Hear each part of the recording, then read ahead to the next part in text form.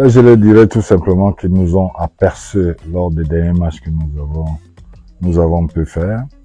Et là, on est proche d'eux. On attend qu'ils viennent nombreux et venir voir eux-mêmes en direct des joueurs qu'ils ont dû apercevoir à travers des écrans pour ceux qui n'ont pas eu l'opportunité d'être là pendant la Coupe du Monde et que qu'ils sachent que aujourd'hui euh, nous comptons énormément sur eux et que nous savons que ils font partie des, 12e joueurs pour les encourager et les apporter leur motivation parce que nous aujourd'hui on n'a plus droit à l'erreur et que cette phrase je ne manquerai jamais de le dire quand tu sais que tu es en danger tu n'es plus en danger.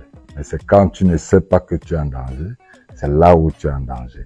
Donc on les attend. Il y aura que du turbo